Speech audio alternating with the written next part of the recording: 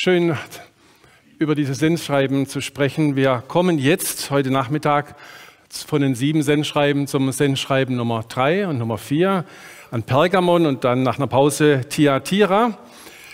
Wir wollen ja nicht so sehr unseren Fokus auf die prophetische Auslegung hier richten, sondern mehr auf die historisch-praktische. Aber das Thema, das Thema bleibt. Das muss unser Herzensthema sein. Jesus mittendrin.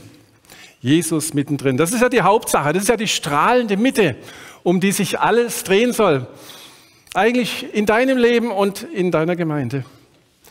Denn Gemeinde Jesu heißt ja, wenn wir schon so sagen, wir sind Gemeinde Jesu, dass er der Anfang ist, die Mitte und das Ende der Gemeinde, jeder Versammlung. Und die Gemeinde ist von ihrem Herrn mit einem Auftrag in dieser finsteren Welt. Deswegen habe ich so schwarze Folien für euch gemacht. Ihr sollt merken, wir sind wie Lichter. Das ist ja unser Bild auch, das Motto ist. Wie Lichter, die scheinen in der Finsternis. Er ist das Licht der Welt, sagt Johannes. Er hat es selber von sich bezeugt, der Herr Jesus, und hat seine Nachfolger als Himmelslichter in die Welt gesandt. Das ist sehr schön. Also wir sind genau am richtigen Ort, wenn wir dort sind, wo es finster ist. Wir müssen nicht fliehen, sondern scheinen. Lasst euer Licht leuchten vor den Menschen, damit sie eure guten Werke sehen und euren Vater, der im Himmel ist, verherrlichen. Darum dreht sich's. Geht nicht um uns. Und das stellt natürlich jede örtliche Gemeinde in ihrer Zeit und ihrem Ort in eine ganz besondere Situation. Das haben wir schon gemerkt. Ephesus ist nicht das gleiche wie Smyrna lebten alle zur selben Zeit damals, als die Rundschreiben versandt wurden entlang dieses Weges, aber sie waren in unterschiedlichen Umgebungen und brauchten auch unterschiedliche Korrektur und Ermutigung. So schauen wir uns jetzt die Situation am Ende des ersten Jahrhunderts hier in der Stadt Pergamon an. Pergamon. Wir lesen das Sendschreiben an jene christliche Gemeinde in Offenbarung 2 ab Vers 12. Offenbarung 2 ab Vers 12 und dem Engel der Versammlung in Pergamus schreibe. Dieses sagt der, der das scharfe, zweischneidige Schwert hat. Ich weiß, wo du wohnst, wo der Thron des Satans ist. Und du hältst fest an meinem Namen und hast meinen Glauben nicht verleugnet. Auch in den Tagen, in denen Antipas mein treuer Zeuge war, der bei euch, wo der Satan wohnt, ermordet worden ist. Aber ich habe ein weniges gegen dich, dass du solche dort hast, die die Lehre Biliams festhalten, der den Balak lehrte, einen Fallstrick vor die Söhne Israels zu legen, Götzenopfer zu essen und Hurerei zu treiben. So hast auch du solche, die in gleicher Weise die Lehre der Nikolaiten festhalten. Tue nun Buße wenn aber nicht, so komme ich dir bald und werde Krieg mit ihnen führen, mit dem Schwert meines Mundes. Wer ein Ohr hat, höre, was der Geist den Versammlungen sagt. Dem, der überwindet, dem werde ich von dem verborgenen Manna geben und ich werde ihm einen weißen Stein geben und auf den Stein einen neuen Namen geschrieben, den niemand kennt als nur der, der ihn empfängt. Soweit Gottes Wort, zum größten Teil vom Herrn Jesus Christus, vom Gottessohn selbst diktiert. Also dieses Sendschreiben liefert uns ein Beispiel, wie eine Gemeinde durch Satan, den Feind Gottes unter Menschen, äußerlich, aber auch innerlich bedrängt wurde und wie sie diesem Druck bereits mit faulen Kompromissen nachgegeben hatten aber der Herr der Gemeinde, der Richter aller, der zeigt hier auf, dass es auch in dieser Situation, dieser Gemeinde in Pergamon, einen guten Ausweg gab, den sie unbedingt gehen sollten. Es gibt einen Ausweg. Der Herr kümmert sich. Also der, das Ziel dieses Sendschreibens ist bestimmt, dass er diese Gemeinde und damit auch uns, es ist ja uns geschrieben, dass wir aufgerufen werden, zu Überwindern zu werden. Das ist in jedem der Sandschreiben, auch hier. Also wir können überwinden, wenn wir den eingeschlagenen Weg zu faulen Kompromissen verlassen, zurückkommen, wieder allein dem Herrn der Gemeinde vertrauen, ihm folgen, koste es, was es wolle. Und es wird sehr ernst werden hier. Wir haben es vorhin schon angedeutet bekommen. Es kann unser Leben kosten. Die Frage, unsere Herzensfrage, werden wir dieser Herausforderung unseres Herrn entsprechen? Das Thema lautet deswegen hier, Jesus mittendrin, wenn die Gemeinde zu Kompromissen mit Teufel, Welt und Sünde gelockt wird. Die drei großen Feinde sind da und sie nötigen uns zu Kompromissen, faulen Kompromissen. Wir lesen also hier in Kapitel 2, Vers 12, und dem Engel der Versammlung oder Gemeinde in Pergamos schreibe. Deswegen wollen wir hier ein bisschen Halt machen, um uns das Umfeld, das politische, wirtschaftliche, vor allen Dingen religiöse Umfeld dieser Gemeinde uns anzuschauen. Was war denn das für eine Stadt Pergamon? Also kann man es sagen, man kann auch Pergamus sagen, latinisiert. Heute heißt die Stadt Bergama, in der Türkei natürlich. Es liegt im heutigen Kleinasien. Hier kann man das nochmal auf der Karte gut erkennen, hoffentlich. Ähm, das ist die Nordliste, wie man sieht, von diesen sieben angeschriebenen Gemeinden. Das Sendschreiben so 135 Kilometer nördlich von Ephesus hinauf, der Straße entlang. Sie war schon in archaischer Zeit Griechenlands bekannt, also 8. Jahrhundert vor Christus kannte man sie schon. Sie war da schon besiedelt. Im 4. Jahrhundert wird schon erwähnt, dass dort ein ganz toller Tempel der Athena war, also einer griechischen Gottheit. 4. Jahrhundert vor Christus. Das war auch sozusagen die Stadtheilige dort in Pergamon. Und Alexander der Große, ein Jahrhundert danach, befreite sie aus der persischen Vorherrschaft und brachte damit die ganze griechische Kultur, auch die Mysterienreligion und den Hellenismus mit in die Stadt herein. So ab 281 vor Christus waren dann die Attaliden da in Pergamon und erweiterten dann das pergamenische Königreich mit riesigen Landgewinnen. Es wurde ein ganz großes Königreich also es war nicht nur eine Stadt, sondern eine, ein, ein, ja, ein richtiges Königreich. Und diese Attaliden, die waren loyale Unterstützer der Römer, die damals Weltmacht waren. Und der dritte König, Attalus III., vermachte dann so um 130, 131 vor Christus sein Königreich den Römern. Und die haben gesagt, Dankeschön. Und ab dann haben wir die Provinz Asia von der oft in meiner Übersetzung von Asien gesprochen wird, aber es ist die römische Provinz Asia. Also wir sind hier mittendrin in dem Bereich der Provinz Asia. Nun, die Römer haben nicht nur Dankeschön gesagt, die haben dann auch Pergamon zur freien Stadt erhoben, mit besonderen Tempeln auch zur Verehrung des Kaisers, was heute ja schon angedeutet wurde, Kaiserkult. Nun, das Zweite, was wir hier finden, ist was ganz Besonderes. Ähm, Ephesus hat ja eine riesige Bibliothek gehabt, die war weltberühmt. Also die war natürlich nicht ganz so toll wie in Alexandrien, aber sie war dort weltberühmt. Und so war Pergamon auch eine Wissenschaftsstadt. Es gab dort etwas, was wir heute als Universität bezeichnen. Und die Bibliothek dort, die war im Außenhof um den Tempel, in den Altar der Athena waren, man sagt, 200.000 Bücher. Das ist richtig viel für damals. Extrem wertvoll. Aber die waren ja ehrgeizig, die Jungs. Also die waren im Rang, also nur noch hinter Alexandrien in Nordafrika, aber man wollte Nummer eins werden. Was hat man gemacht? Man hat Leute geschickt nach Alexandrien rüber, also nach Nordafrika, und wollte den Bibliothekarchef abwerben, damit er die eigene Bibliothek aufbaut. Das hat der König dort, oder ich weiß nicht, der Herrscher dort spitz bekommen. Und dann war er natürlich sauer und dann hat er ein Handelsembargo auferlegt. Dann haben die hier, diese Frechen in Bergmon, haben keine Papyri, also kein Papier mehr zur Verfassung von Büchern bekommen. Also es war ein Exportverbot nach Pergamon. Und dann gab es da einen König, der Eumenes II., so in der Mitte äh, des zweiten Jahrhunderts vor Christus, der hat gesagt, okay, ähm, dann machen wir Pergamente. Also Tierhäute speziell behandelt, sodass man darauf schreiben kann, was wesentlich haltbarer ist als Papyrus.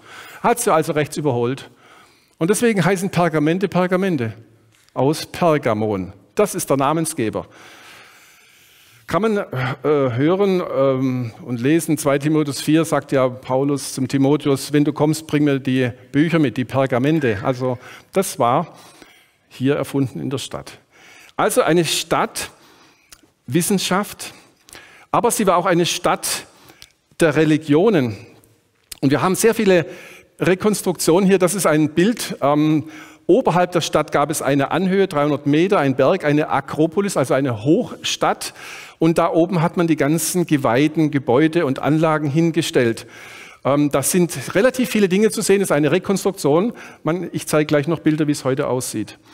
Also dieser König Eumenes II., der hat auf diesem Berg hier einen Altar, einen riesigen gebaut, wo der Pfeil jetzt hin zeigt. Also außenrum Säulenhallen, in der Mitte wieder Säulen, ein riesiges Ding, in dessen Zentrum ein wirklicher Altar war, wo man opferte. Also sozusagen ein, ein Altar im Altar des Altars oder ein Tempel im Tempel des Tempels. Ein riesiges Ding. Und das steht heute in Berlin. Also man kann berechtigt sagen, der Thron des Satans ist in Berlin.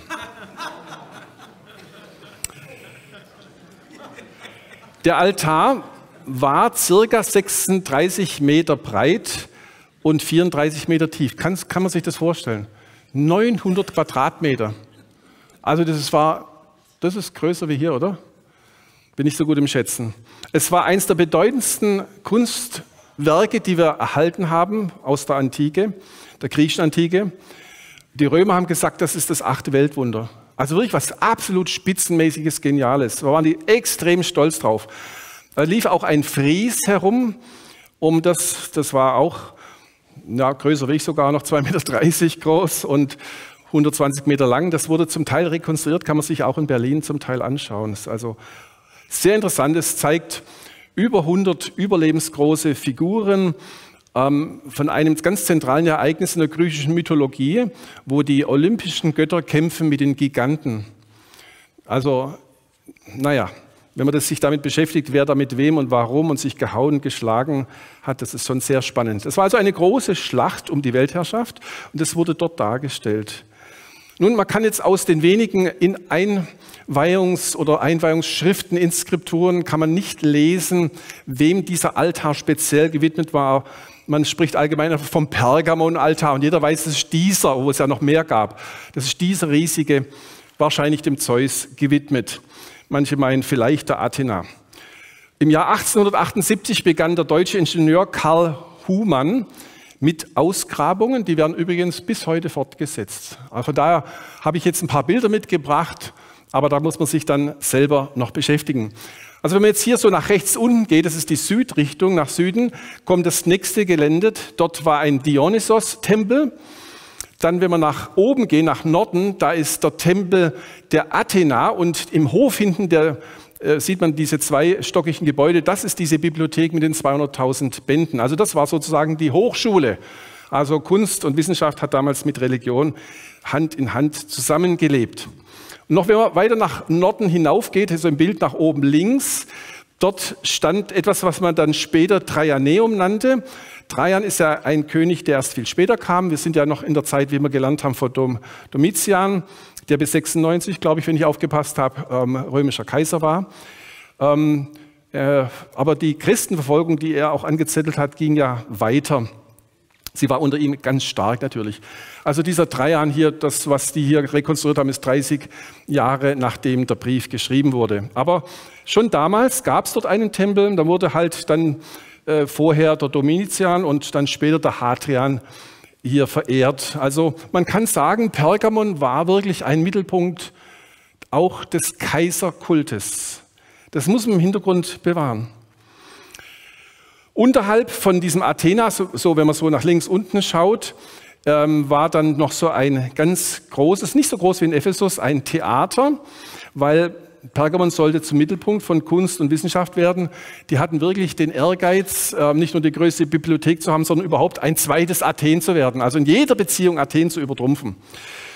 Und dann außerstädtisch, wenn man also von da oben so in die Landschaft schaut, über die Stadt hin, hinweg, zwei Kilometer nach Westen, gibt es dort eine Tempelanlage des Esculap.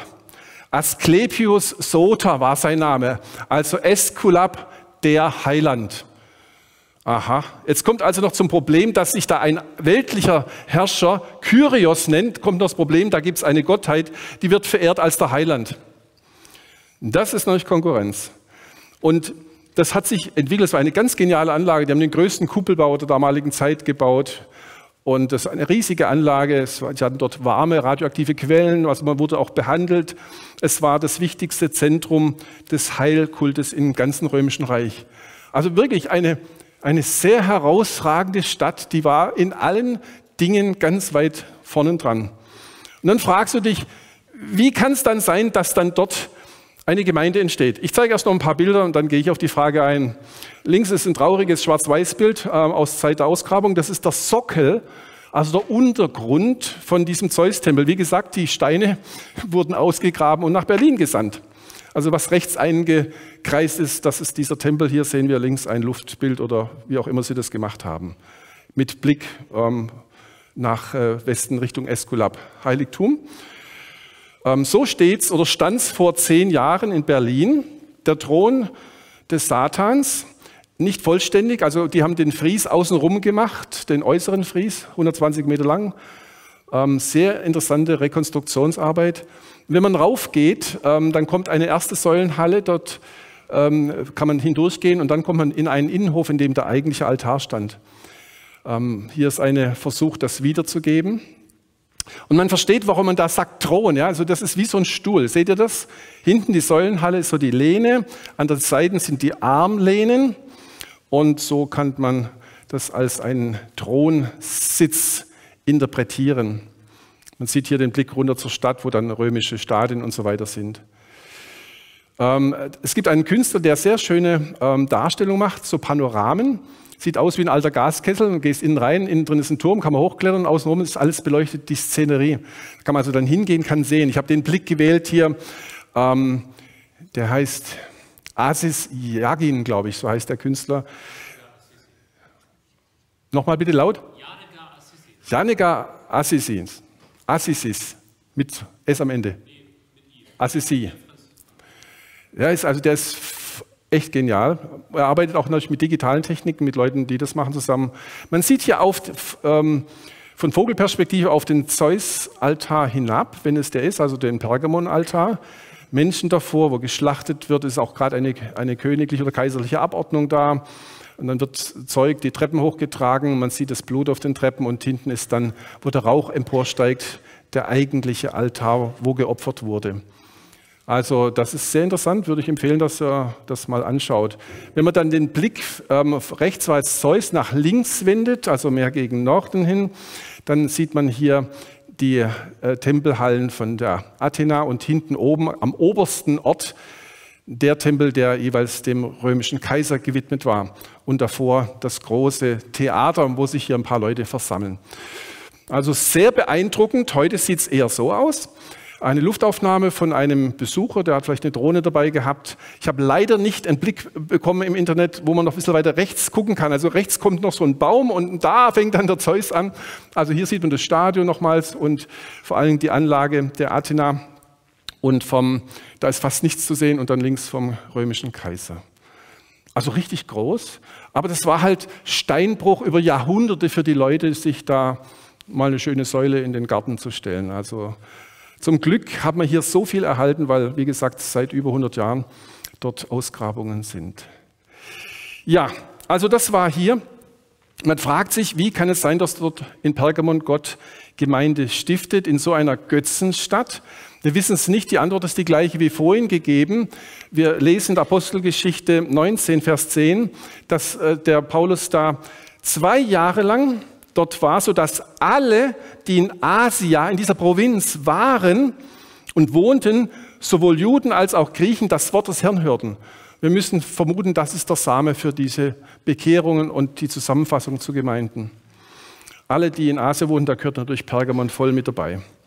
Also fassen wir zusammen eine Großstadt, eine Wissenschaftsstadt, ein Zentrum satanischen Götzendienst und des Kaiserkultes. Und mitten hinein baut Christus seine Gemeinde. Das Hades Pforten werden sie nicht überwältigen, also kann man sie mitten da reinpflanzen. Auch dort sollten Menschen gerettet werden, weil unser Gott ist ein Heilandgott. Auch dort sollte Christus verherrlicht werden. Natürlich die Kehrseite war, dass diese wiedergöttliche Kultur außenrum in Pergamon auch in die Gemeinde rein diffundiert. Aber sie war nicht herrenlos, Sie war nicht alleine gelassen. Der Herr der Gemeinde kommt zu ihr. Und er kommt zuerst als Richter der Gemeinde. Vers 12b, dieses sagt der, der das scharfe, zweischneidige Schwert hat. Das ist das Schwert, das man nicht im Kampf verwendet, sondern als Richter, Exekutionsschwert. Also die Gemeinde kennt ihren Herrn. Kapitel 1 haben wir heute Morgen gesehen, dass der Herr schon so dort geschildert wird. Vers 16 stand da, aus seinem Munde ging hervor das zweischneidige Schwert. Und sofort verstehen wir, dieses Schwert ist Gottes Wort. Haben wir es verstanden? Es kommt aus dem Munde Jesu hervor, das zweischneidige Schwert. Und damit ist das Schwert hier, das eben ein Zeichen ist für Autorität und des Gerichtes, das Wort Gottes. Und es war noch eine Anspielung darauf, weil dort war auch ein römischer Statthalter der ganzen Provinz, wenn man will, ein Gouverneur, der eben dieses oberste Richt äh, Autorität hatte. Also das Recht des Schwertes, das heißt, er konnte Kapitalstrafe ähm, ver, ver, äh, beurteilen. Also der konnte sozusagen das Schwert selbst schwingen, um Menschen zum Tode zu verurteilen. Und hier kommt Jesus und sagt, halt mal, ich bin der, der dieses Schwert hat. Ich bin der, der über allen weltlichen Herrschern und Richtern spricht, ja, Mund, was wahr und was recht ist, was falsch ist. Das finden wir in der Bibel mehrfach erwähnt. Epheser 6 sagt es in der Waffenrüstung. Ähm, wir finden es genauso in der Hebräer 4, Vers 12. Das werde ich hier äh, unten als dritte Stelle auch schon, könnt ihr das lesen. Dort wird es ausdrücklich gesagt, dass dem so ist. Das Wort Gottes ist lebendig und wirksam und hier kommt genau der gleiche Ausdruck, schärfer als jedes zweischneidige Schwert. Also es ist nicht so scharf wie ein Schwert, es ist schärfer. Deswegen ist Jesus Schwert überlegen gegenüber jedem Schwert eines Richters hier. Er entscheidet, was gut und böse ist. Und so wird hier gesagt, dass dieses Schwert auch wirkt wie das Messer eines Chirurgen, das Skalpell, das uns auch zerlegt, sodass unser Innerstes offenbar wird. Also Jesus hat sowohl Röntgenaugen, nicht? Augen aus Feuer, und er hat auch dieses Skalpell, wo er uns aufmacht. Und er weiß ganz genau, wo vielleicht versteckt bei uns, wie wir es vorhin gehört haben, ein Übel anfängt, wie bei Ephesus, dem begegnet werden muss, sonst der ganze Leib krank und dann tot wird. Also vor diesem sind wir ganz offen aufgedeckt. Ja, das war der Richter der Gemeinde hier. Und wenn es zweischneidig ist, habe ich gedacht, dann meint es vielleicht auch, weil wenn man es von dem kleinen Schmerz her, Schwert hernimmt, das man im Krieg hatte, dann konnte man halt in zwei Richtungen Schläge führen. Das war taktisch sehr gut. Das Schwert war eine super Waffe für die Römer, hat ihre Überlegenheit an vielen Stellen begründet. Aber ich habe gedacht, es meint vielleicht, dass es eben nach innen und nach außen schneidet. Jesus verwendet sein Wort sowohl nach draußen zur Welt, er verdammt die Welt für ihre Sünden, aber es wirkt auch nach innen. Es trennt den Gläubigen von der Welt. Und beide Wirksam, Wirkungen sind heilsam. Es ist also ein Schwert heilsamer Trennung für die Gläubigen, vielleicht so wie ein Skalpell in der Hand eines Chirurgen heilsam sein kann, aber zugleich ist es für die rebellierende Welt, für die abgöttische Welt, für das Scheinchristentum ein Schwert des Gerichts, wie das Schwert in der Hand eines Scharfrichters. Also da kann man nicht damit spielen, ja. Also die Waffe seiner Wahl ist sein Wort. Haben wir das verstanden? Das ist, glaube ich, ganz wichtig. Es geht nicht um physische Gewalt.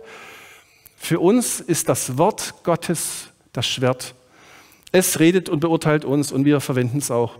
Und jetzt bekommen wir, wenn wir weiterlesen, Vers 13, sozusagen ein Beispiel dieses Schwertes Jesu Christi, weil er fängt an zu reden. Und das ist ja das Wort Gottes. Also finden wir als nächstes hier die Gemeinde unter dem äußeren Angriff Satans, Vers 13. Ich weiß, sagt Jesus, jetzt kommt das Schwert heraus sozusagen, ich weiß, wo du wohnst, Doppelpunkt, wo der Thron des Satans ist. Also der Herr weiß, wo wir wohnen als Gemeinde. Und es war nicht falsch, dass es in dieser schlimmen Stadt eine Gemeinde gab. Es gibt Auslegungen, die sagen, ja, die Kirche hat sich dann an den Thron Satans herangeschlichen und wird das immer negativ belegt. Nein, es war ein Zeugnis Jesu in dieser Stadt Wir können doch nicht sagen, aufgrund dieser Bibelstelle, man darf nicht in Las Vegas äh, oder was weiß ich wo, ähm, Berlin wird auch gewisse Bereiche haben, äh, Frankfurt Bahnhof, was weiß ich, keine Ahnung, wo man sagt, da gehst du nicht hin, das sind nur Drogensüchtige und Prostitution. Dass wir da nicht hingehen dürfen. Nein, genau da hinein. Da müssen wir gehen. Also der Herr weiß, wo wir wohnen, er kennt die besonderen Gefahren, die uns dort äußerlich, aber auch innerlich als Gemeinde bedrohen. Und wir haben ja schon gesehen in der Einleitung, wie massiv und satanisch dieser äußere Druck war. Und darauf gehe ich zuerst ein. Wohnen, wo der Satan droht. Der Satan wird zweimal bezeichnet mit Begriffen, dass er der Fürst dieser Welt ist, sagt Jesus in Johannes 17, der Fürst dieser Welt. Und in 2. Korinther 4,4, da wird sogar gesagt, er ist der Theos, der Gott dieser Welt, der also oberste Position, auch religiöserweise, fordert von allen Menschen, den man also göttlich verehren soll. Diese Welt hat auch einen Gott und sie braucht einen. Ich werde noch darauf zurückkommen. Ja, und dann war hier der Cäsar. Wir haben von den Opfergaben, die erzwungenermaßen gebracht werden mussten, gehört, um zu zeigen, dass man ihn als Gott auch verehrte. Also sozusagen auch hier gab es, egal zu welchem Tempel du jetzt da gehst in dieser Stadt, da gab es auch schon so diese Anfrage, Christus oder Staat. Gab es auch schon damals. Wir haben es schon gehört. Nun, mit diesem Thron des Satans, wahrscheinlich ist es der Pergamon-Altar, der eben so aussieht wie ein Sitz, da lebte die Gemeinde. In einer Welt leben, wo Satan Gott und Fürst ist. Das ist nicht so einfach, oder? Bist du dir im Klaren? Dass hier dämonisch gesteuerte Götzendiener sind, politische Tyrannen und dass der eigentliche Spiritus Rector, also der als Geist hinter allem steckt, der die Macht in der Hand hat, der Teufel ist. Also es geht in diesem Sendschreiben vor allen Dingen jetzt hier um das Verhältnis der Gemeinde zur satanischen, politischen und religiösen Welt. So schreibt es Benedikt Peters, dem vorhin angelobten Buch, das ihr kaufen müsst. Ich zitiere mal aus 2. Korinther 4,4, ihr habt es vielleicht schon überflogen.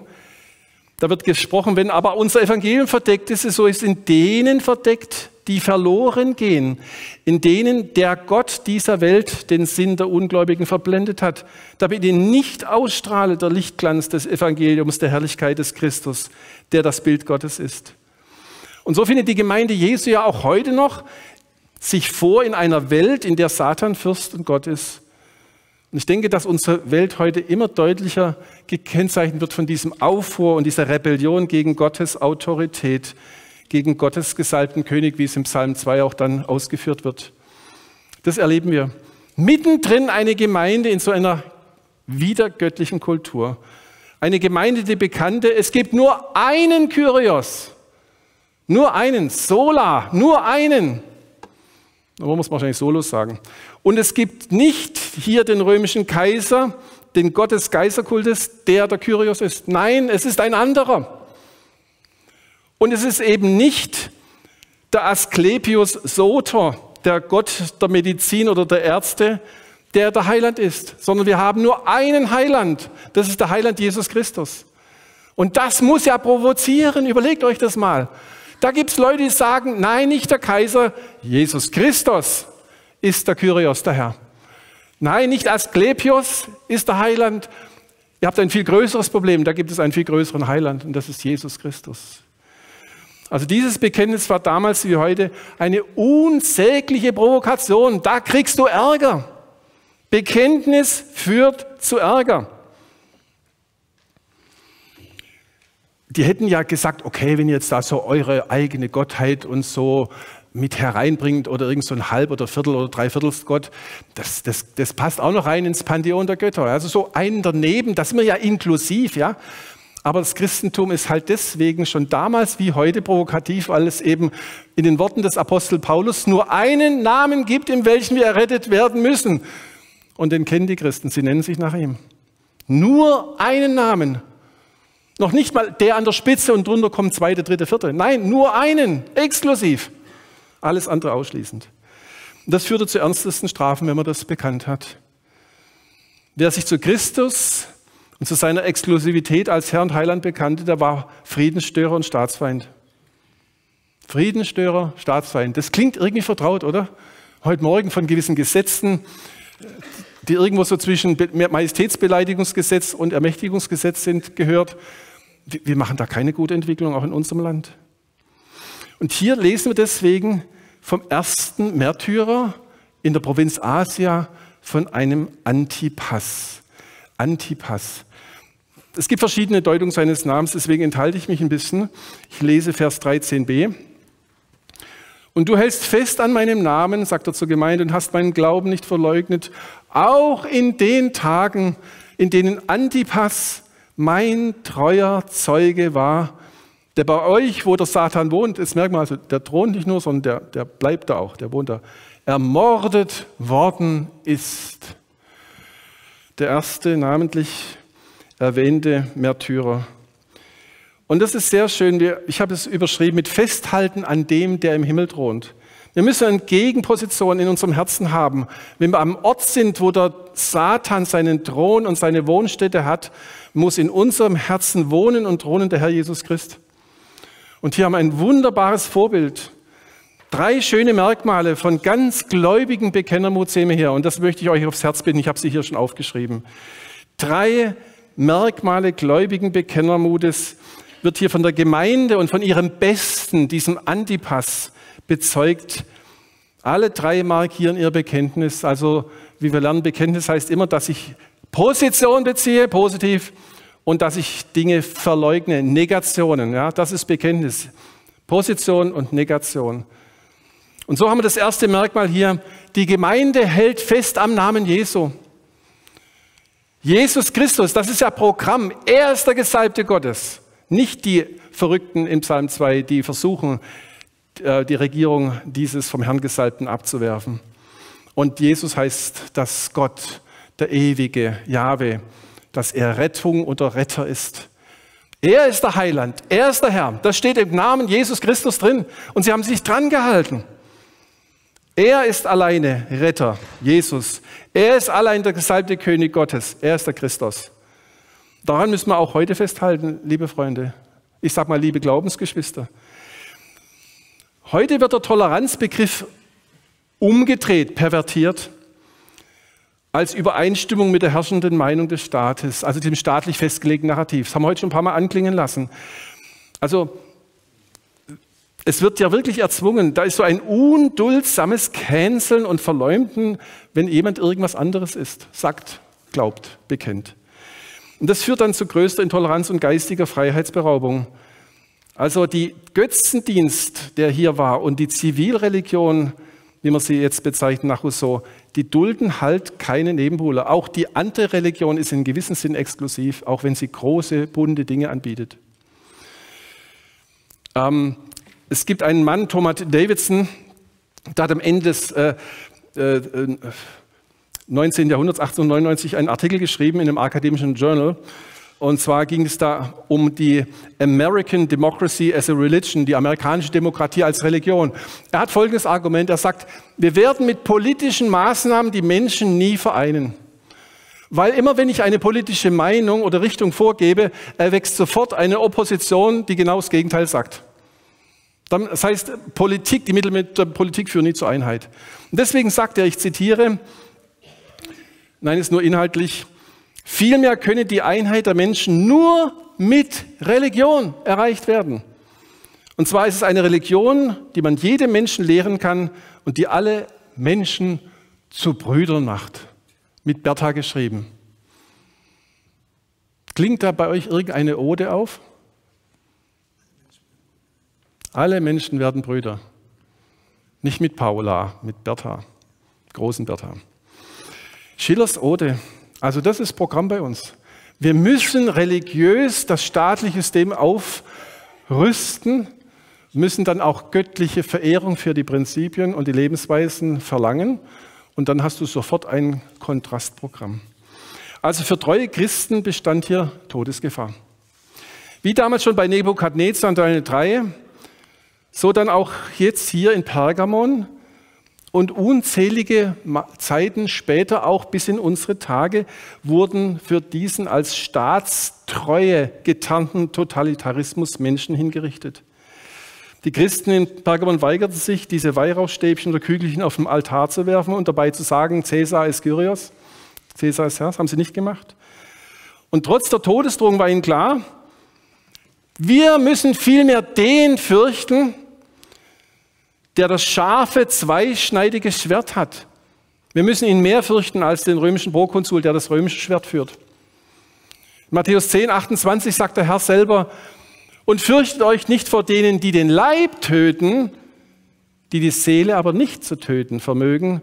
Fürchtet aber vielmehr den, der sowohl Seele als Leib zu verderben vermag in der Hölle. Und das ist Gott. Der steht am Ende da und entscheidet, wo es hingeht. Das zweite Merkmal ist, die Gemeinde hat den Glauben an Christus nicht verleugnet. Also Religion, also existenzielle Bindung geht ja nur mittels Glauben. Und wenn du nur einen irdischen Glauben hast, dann reicht er auch übers Irdische und Zeitliche nicht hinaus. Aber das bieten sie an. Denn die Frage ist ja immer, was glaubst du? Oder besser gesagt, an wen glaubst du? Das ist eine wichtige Frage. An wen binde ich mich? An wen hängen wir unsere menschliche Existenz? Unsere Sehnsucht nach Gott, an wen hängen wir sie? Wo suchen wir Befriedigung? Hoffentlich nicht im Ehepartner und hoffentlich nicht in Demokratie. Das sind andere Dimensionen. Letztlich braucht der Mensch eine Bindung an seinen Schöpfer. Nur er kann alles geben, was wir brauchen. Er hat uns so angelegt. Also wenn du, sagen wir mal, Leben in Frieden und Sicherheit suchst, Sehnsucht hast nach so einem schönen, genussvollen Leben, wohin schaust du? Zu wem schaust du auf, dass er alles bringt, Sicherheit und Friede und alles Glück? Schaust du zum Bundeskanzler? Der tut sein Bestes. Mehr darfst du nicht erwarten. Denkst du an den Ratspräsidenten der EU, Monsieur Charles Michel, an, den, an die UNO oder WHO, ist ja egal, an was. Die tun alle ihr Bestes. Aber offenbar löst das nicht das Grundproblem eines jeden Menschen. Die Ursehnsucht nach dem lebendigen Gott zu befriedigen. Wir müssen Prediger hören, dass Gott dieses, diesen Abgrund in der Seele, die Ewigkeit ins Herz gelegt hat. Das kann ein zeitliches und irdisches Regime nicht beantworten. Nun, ich muss vielleicht an der Stelle, bevor jetzt das so zur negativ ankommt, sagen, wir Christen, wir stützen mit besten geistlichen und natürlichen Mitteln die Obrigkeit. Sofern sie ja Gottes Dienerin ist, uns zum Guten, sagt Römer 13, Vers 4. Also wir beten für sie, unser wichtigster Dienst, den wir tun können.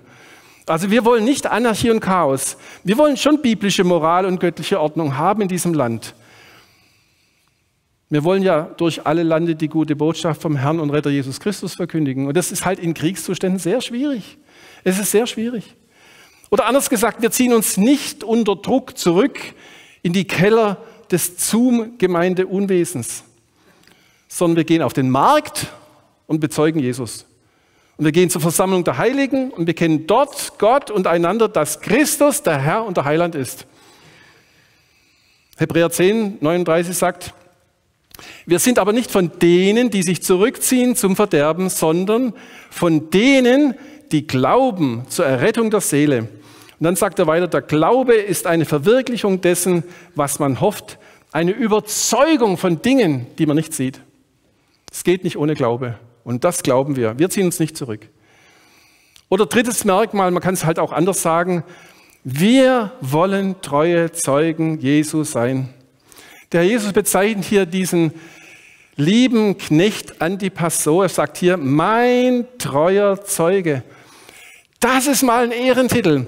Der Herr Jesus haben wir heute Morgen gelesen, Kapitel 1, Vers 5, er bezeichnet sich selber, er selber ist der treue Zeuge. Und es kommt auch nochmal in Kapitel 3, Vers 14. Also Jesus heftet ihm einen Orden an, den er eigentlich nur selber trägt.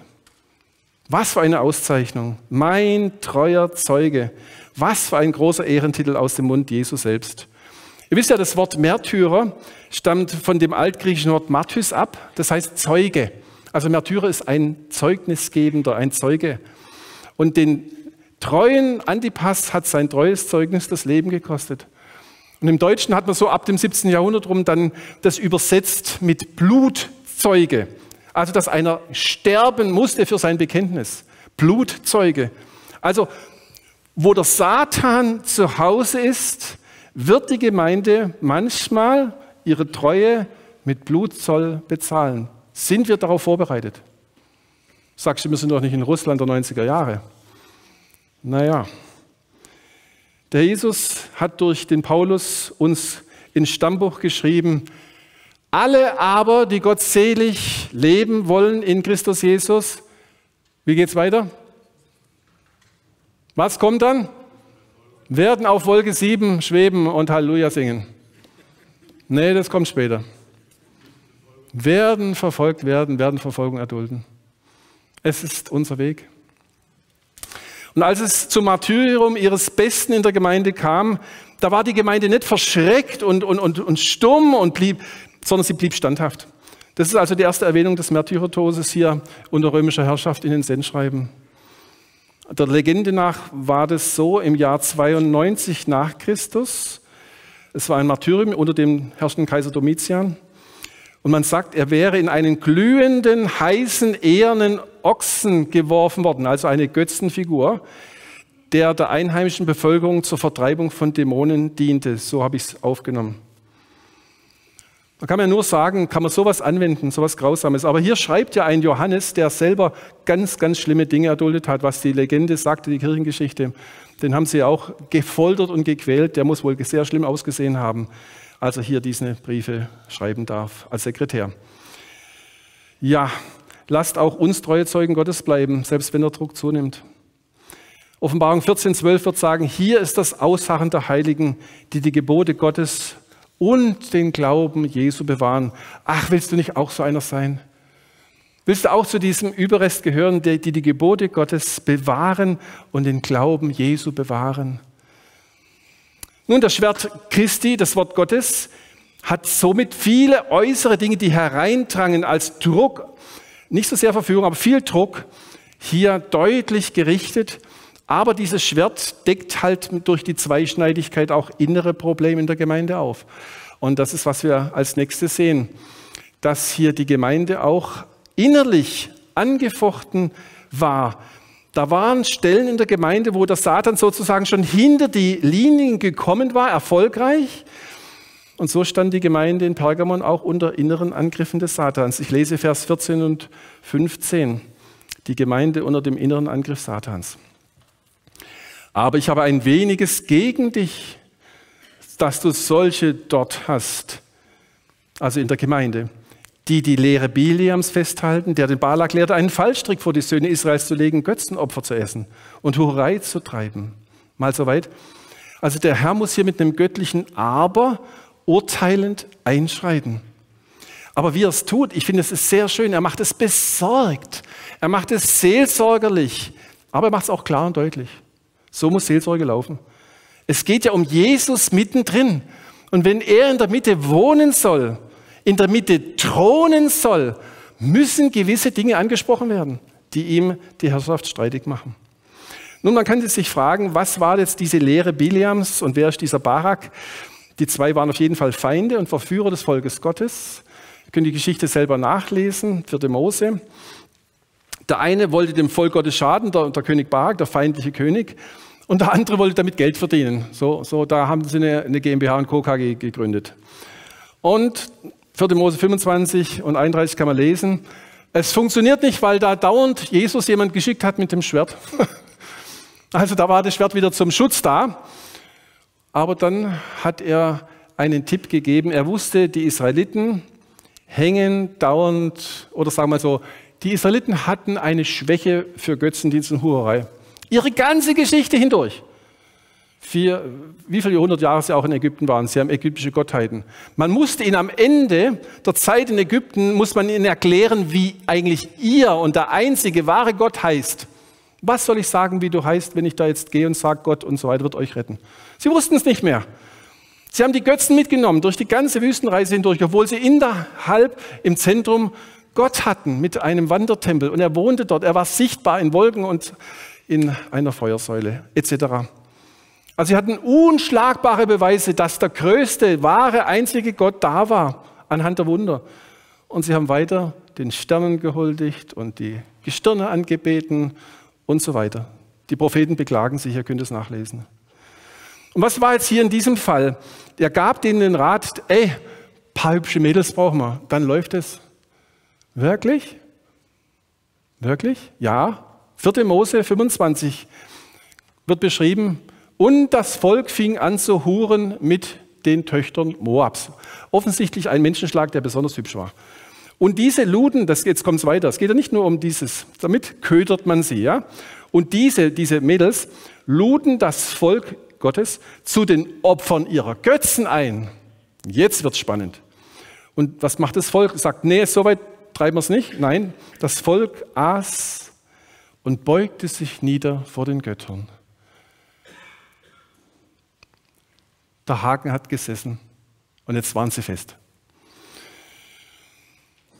Und wenn man ein bisschen genauer liest, was war da los? 4. Mose 31 sagt dann, sie sind ja auf den Rat Biliams, den Kindern Israel, ein Anlass geworden, in der Sache dieses kananitischen Götzen Peor gegen den Herrn Untreue zu begehen. Merkt ihr, die Untreue im Sexuellen hat immer so eine Entsprechung im Geistlichen. Und wenn man sich zu Götzen hinwendet und ihnen opfert, was wir gerade gelesen haben, sich vor denen beugt, dann interpretiert das der einzig wahre Gott als eheliche Untreue. Und das ist hart.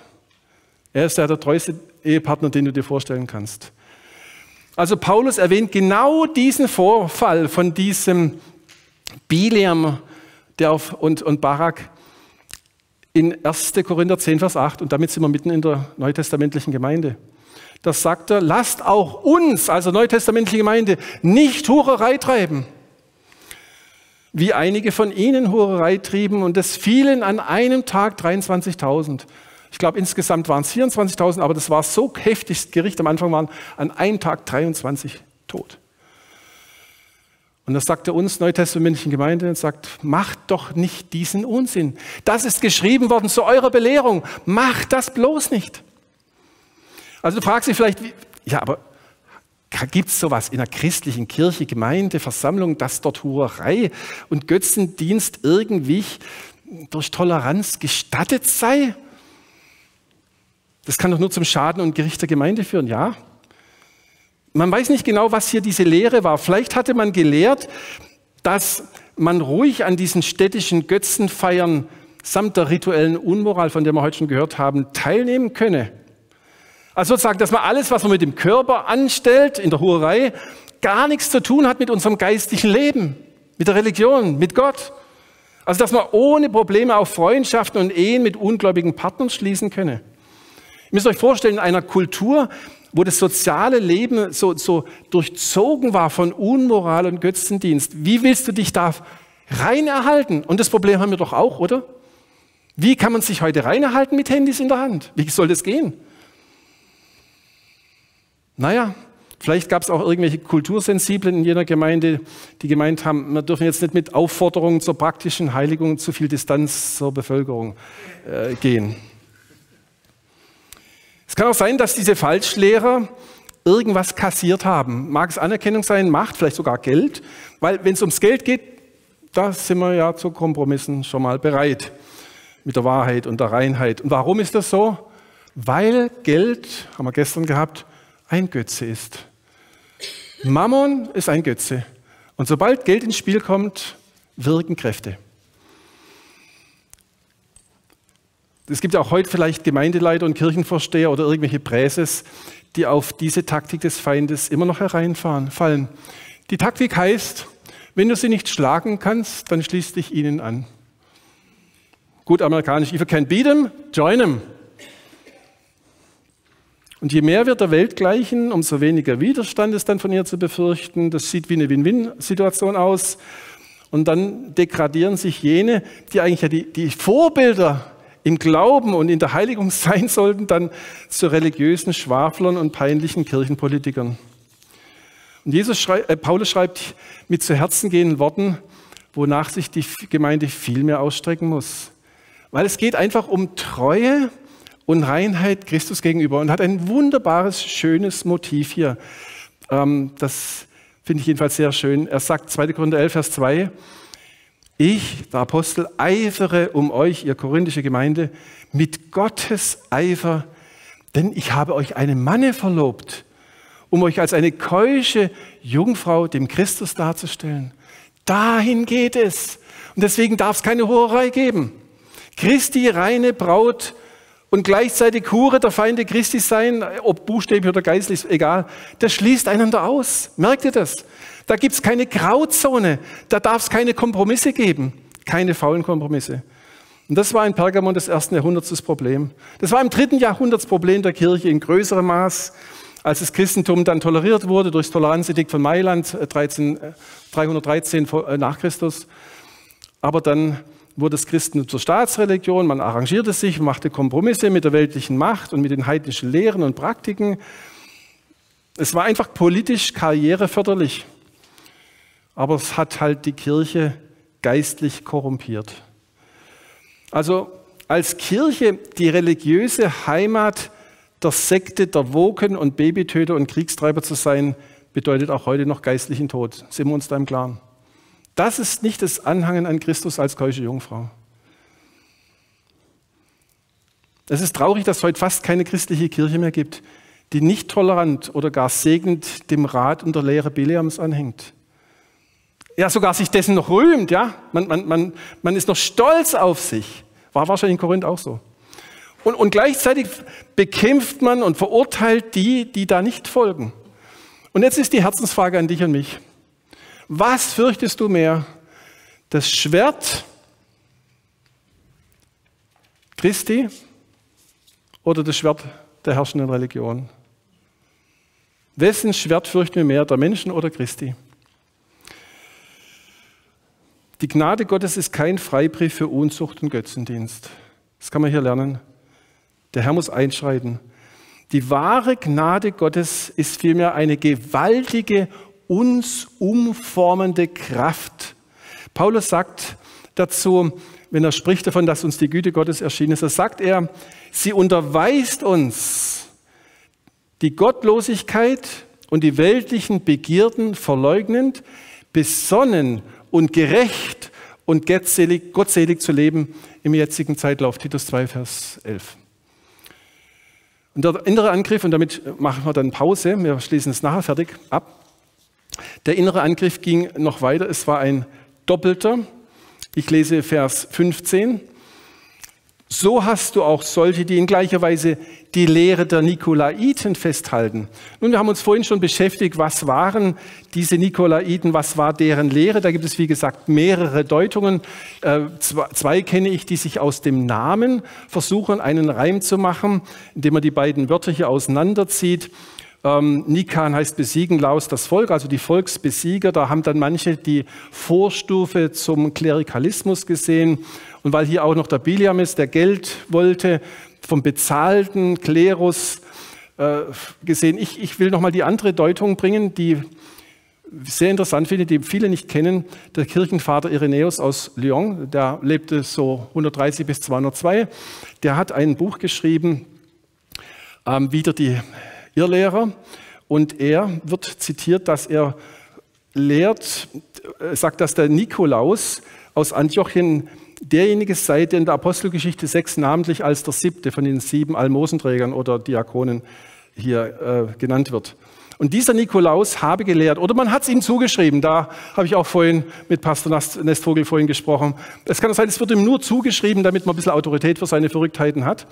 Aber was gelehrt wurde, war, man müsse das Fleisch, den Körper gering schätzen. Geistesmenschen, also wirklich ganz geistliche Menschen, die können sich alles erlauben. Denn sie würden ja von diesem niedrigen Gebiet des Fleisches gar nicht berührt. Ja, Geist. Gott ist Geist, also das ist das Edle. Der Körper macht gar nichts. Also es mache gar nichts aus, was man mit seinem Körper anstellt. Denn am Ende würden wir ja alle von unserem Körper befreit, also wir sterben, und dann fliege die Seele sicher hin zu Gott. Und das war dann halt eine sehr interessante Lehre. Da kannst du ja alles machen, saufen und huren, oder? Hat mit dem Geist nichts zu tun. Das klingt nach Rasputin, oder? Also hier haben wir es vielleicht mit frühen Formen der gnostischen Irrlehre zu tun, gegen die ja der Hannes, der Schreiber hier, an anderer Stelle in seinen Briefen ganz viel schreibt. Aber auch Petrus, der Apostel, und der Judas schreiben dagegen. Ich zitiere mal aus 2. Petrus 2, um den Punkt hier auch noch abzustützen. Das sagt der 2. Petrus 2, Vers 18. Indem sie stolze und nichtige Reden führen, locken sie mit fleischlichen Begierden, klingelt's, ja, durch Ausschweifungen die an, die eben entflohen sind von denen, die im Irrtum wandeln, ihnen Freiheit versprechend, während sie selber Sklaven des Verderbens sind. Man preist die Sünde mit Zuckerguss an, leuchtenden Farben und verbirgt, dass man eigentlich geknechtet unter der Sünde ist und nicht frei. Man meint, man sei frei, wenn man sich der Sünde hingibt und sie nicht lassen kann. Judas spricht auch davon. Also diese ganzen Irrtümer in der Lehre und Praxis gab es schon in der frühen Kirche. Auch den Klerikalismus, den Gnostizismus, also diesen Dualismus zwischen Materie und Geist gab es da auch schon. Und es ist halt so, der Satan stellt neben das Echte immer das täuschend Falsche. Da ist der Glaube das Echte, dann macht er halt daneben den Aberglauben. Das kannst du heute noch beobachten. Neben der rechten Gotteserkenntnis, die ja zur Heiligung führt, gibt es dann diese sogenannte falsche Erkenntnis, der Gnosis, und die führt dann zur Ausschweifung. Und zwar auch noch Ausschweifung als Gottesdienstform, wie du es vorhin erläutert hast, dass man sozusagen im sexuellen Akt sich verbindet mit Gott. Das haben auch einige Religionen Asiens immer noch. Also die rechte Erkenntnis der Wahrheit macht frei vom gesetzlichen Wesen, aber sie macht nicht uns frei, um ungebunden zu leben, sondern um so freudiger Gott zu dienen. Das ist die wahre Freiheit. Dafür sind wir gemacht. Die rechte Erkenntnis hebt den Herrn Jesus Christus empor und die falsche Erkenntnis, die vergottet den Menschen in schwindelnde Höhen, sodass ein Mensch als Gott angebeten wird. Ist dem die Gemeinde Jesu wahr, wehrlos ausgeliefert? Nein. Weil derselbe, der diesem Biliam damals mit dem Schwert drohend entgegentrat, für den Mose 22, der steht auch hier bei der Gemeinde in Pergamon mit seinem zweischneidigen Schwert, mit seinem scharfen zweischneidigen Schwert, um sie zu verteidigen nach außen, aber auch mit dem Schwert seines Mundes für die Zurechtweisung nach innen. Und so hört diese Gemeinde in Pergamon eine ganz strenge Mahnung, nicht länger auf zwei Seiten zu hinken. Also aufzuhören, mit der Welt zu flirten und faule Kompromisse einzugehen. Die Gemeinde stand wirklich am Scheidepunkt zwischen Christus und Welt. Die Gemeinde hört also eine strenge Mahnung der, der dieses scharfe, zweischneidige Schwert hat, das aus seinem Mund kommt. Also sie hört Gottes Wort.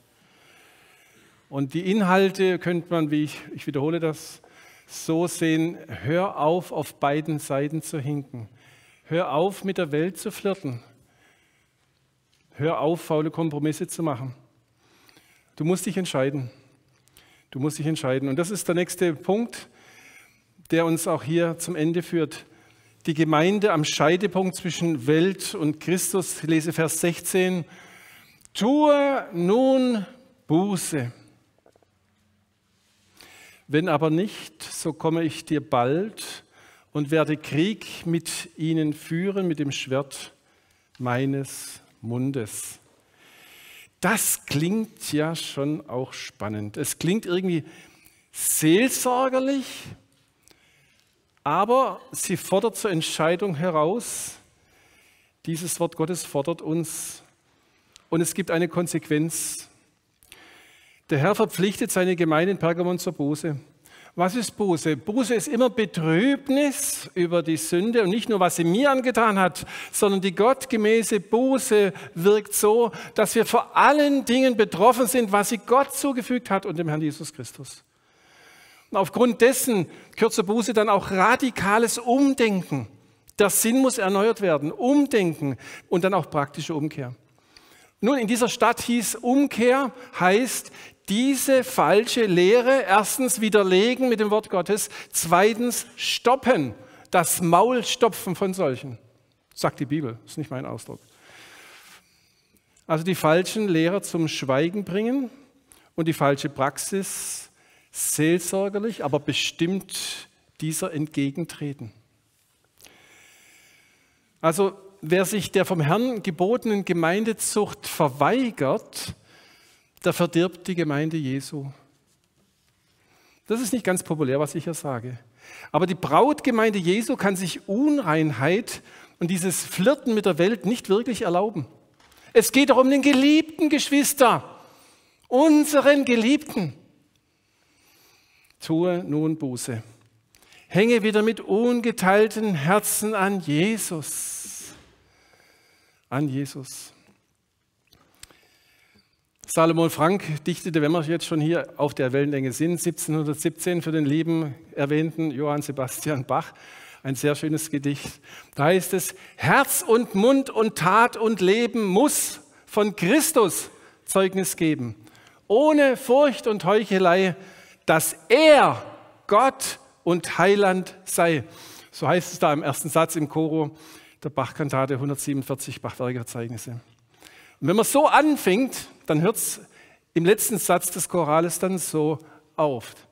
Jesus bleibet meine Freude, meines Herzens Trost und Saft und so weiter. Niemand aus der Brautgemeinde Jesus sollte das vergessen. Wir gehören nur ihm. Wahre Liebe ist exklusiv, nicht zu teilen. Sie trennt uns von allem Unheiligen. Und das ist nicht meine Art darüber, weil ich das jetzt so schätze zu sagen, sondern ich denke, dass das Wort das sagt. Aber lassen wir den Apostel Paulus hier mal diesen Schwarz-Weiß-Kontrast deutlich machen. Ich lese aus 2. Korinther 6 Abvers 14. Ich lese den ganzen Text, hier unten sind ein paar Worte davon wiedergegeben. Seid nicht in einem ungleichen Joch mit Ungläubigen. Begründung, welche Genossenschaft haben denn Gerechtigkeit und Gesetzlosigkeit? Oder welche Gemeinschaft hat Licht mit Finsternis? Oder welche Übereinstimmung hat Christus mit Belial? Oder welches Teil hat ein Gläubiger mit einem Ungläubigen? Und welchen Zusammenhang hat der Tempel Gottes mit Götzenbildern? Merkt ihr? Er haut seine Nägel fünfmal rein und du merkst, das geht nicht. Und dann sagt er, denn ihr seid ja der Tempel des lebendigen Gottes, wie Gott ja gesagt hat, ich will unter ihnen wohnen und wandeln und ich werde ihr Gott sein und sie werden mein Volk sein. Und dann sagt Paulus weiter, darum geht aus ihrer Mitte hinaus und sondert euch ab, spricht der Herr, und rührt Unreines nicht an das ist die eine Seite der Absonderung, aber da hört sie nicht auf. Es geht weiter mit einem Und. Und ich werde euch aufnehmen und ich werde euch zum Vater sein und ihr werdet mir zu Söhnen und Töchtern sein, spricht der Herr der Allmächtige. Jetzt bist du vor die Wahl gestellt, links oder rechts. Wer ist dein Gott? In welche Gemeinschaft, in welche Familie gehörst du? Und diese Intimität der Liebe, diese Gemeinschaft im ewigen Leben verspricht der Herr Jesus hier jedem Überwinder. Er hat mich was ganz Besonderes vorbereitet. Mein letzter Punkt, der Überwinder unter der Verheißung Christi, Vers 17. Ich lese, wer ein Ohr hat, höre, Imperativ, Befehl, höre, was der Geist den Versammlungen oder Gemeinden sagt. Dem, der überwindet, dem werde ich von dem verborgenen Manna geben und ich werde ihm einen weißen Stein geben und auf den Stein einen neuen Namen geschrieben, den niemand kennt als nur der, der ihn empfängt. Drei wunderbare Gaben, die der Herr dir verspricht, wenn du überwindest. Dem, der überwindet, ist ganz offenbar, das haben wir heute schon gehört, ein ganz persönlicher Aufruf. Also so ähnlich wie, wie das paulinische Du aber. Du aber. Das ist ein Wort für jede Endzeit. Du aber. Überwinden ist also Anfrage an jeden Einzelnen, auch wenn es letztlich hier ums Überleben der örtlichen Gemeinde geht. Also hier ist Passivbleiben wirklich aktiv Sünde und führt zum Untergang. Die Sünde von Pergamos ist ja gerade diese Passivität gegenüber den falschen Lehren und Lehrern, die uns da von der praktischen Heiligkeit wegziehen und unsere Toleranz gegenüber der Weltliebe locken. Also es gibt wirklich eine unheilige Kampfesscheu. Also nicht der, die Streitsucht soll uns ja zum Kampf treiben, aber sehr wohl die Ehrfurcht vor dem, der das scharfe, zweischneidige Schwert hat. Diese drei wunderbaren, sicheren Gnadengaben will ich mit euch durchgehen, damit ihr merkt, es ist wirklich wert. Das erste ist das verborgene Manna. Nun, das Manna, das kennen wir aus der Exodus-Geschichte. Es war das Brot in der Wüste, das Himmelsbrot, um sicher genährt bis zum Eintritt in das Land der Verheißung zu kommen. Also um sicher sein Erbe zu erhalten. Darum geht es. Das brauchten sie. Und anstatt vom Götzenopferfleisch der pergamenischen Tempel zu essen, Vers 14 haben wir das gehabt, sollten sie das Himmelsbrot, das Lebensbrot Gottes essen. Matthäus 4,4. Lebens- und Himmelsbrot. Nach Johannes 6, wo der Herr selber redet, ist es der Herr Jesus selber. Also im verborgenen Manna gibt sich der Herr Jesus selbst. Johannes 6, 51 sagt er eines seiner Ich Bin-Worte. Ich bin das lebendige Brot, das aus dem Himmel herabgekommen ist. Und wenn jemand von diesem Brote isst, so wird er leben in Ewigkeit. Das schenkt er. Gibt es eine größere Gabe? In Pergamon gab es den Satansthron, da gab es die Götzenaltäre, da bekamen Götzengeweihtes Fleisch. Und die Herzensfrage an mich und dich ist hier, an welchem Thron, an welchem Altar, an welchem Tisch nährst du deine Seele? Mit Himmelsbrot? Mit Lebensbrot? Oder mit Götzenfleisch? Ich denke, ihr könnt das übertragen. Das zweite, ein weißer Stein. Ein weißer Stein wurde nach griechischer Sitte im Gericht verwendet, um die Unschuld eines Angeklagten festzustellen. Also es war beispielsweise ein Symbol für Freispruch, für Rechtfertigung. Nun, Christus hat ja seinen eigenen Richterstuhl, seinen eigenen Gerichtsthron, wo die ganze Welt allerzeit erscheinen muss. Der steht also über allen anderen Gerichten, die es in der Welt geben mag. Also was hier geurteilt wird, wenn hier der weiße Stein von Christus verliehen wird, dem obersten Weltenrichter, das hat auch ewig Bestand. Mögen andere Gerichte anders über dich entscheiden, vielleicht wie es damals war, sogar zur Todesstrafe. Wichtig ist, was der oberste Weltenrichter hier sagt. Und er sagt es jedem Überwinder, ich werde dir einen weißen Stein geben. Du bist nicht nur freigesprochen, mangels Beweise, sondern du bist gerechtfertigt. Du kannst aus diesem Gericht hinausgehen ohne einen Makel. Ganz im Gegenteil. Ich werde dir einen weißen Stein geben. Das heißt, du bist für alle Ewigkeit bei Gott angenommen.